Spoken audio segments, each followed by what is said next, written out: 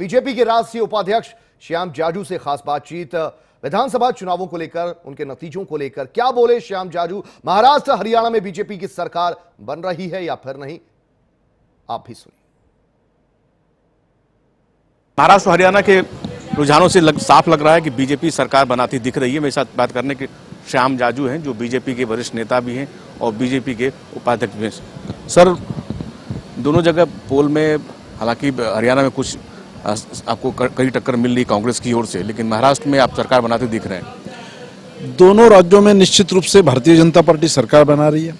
महाराष्ट्र में पहले से ही अंदाज था कि हम 200 क्रॉस करेंगे, दोनों पार्टियाँ मिलकर। शिवसेना और भारतीय जनता पार्टी का गठबंधन वहाँ पर काम कर रहा है, महायुति काम कर रही है। और अभी रुझान जिस प्रकार से आ रहा है तो हमें लगता है कि जो आकलन हमारा था, वो सही हो रहा है।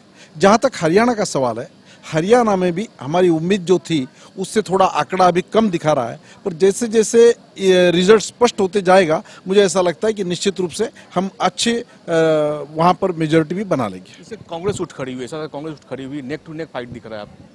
हाँ हमने ऐसा नहीं सोचा था वहाँ जिस प्रकार का काम हुआ है पिछले टाइम 47 सीटें ही हमारे पास थी।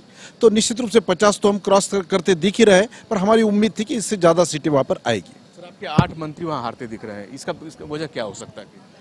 अब तो ऐसा है अभी तक तो रिज़ल्ट को वेट करना है। कैसा आकलन हुआ है कैसे लोगों ने वोटिंग किया है क्या हुई है पार्टी की स्ट्रेटेजी का क्या है ये सब आकलन होगा। पर मुझे ऐसा लगता है कि दोनों ही राज्यों में निश्चित रूप से भारतीय जनता पार्टी की सरकार आ रही है। नमस्कार। ये थे श्याम जाजू जो अब भी आशावान है कि दोनों राज्यों में बीजेपी की सरकार बनेगी। कैमरा कैसर के साथ Kamlesh Singh R nine TV Delhi.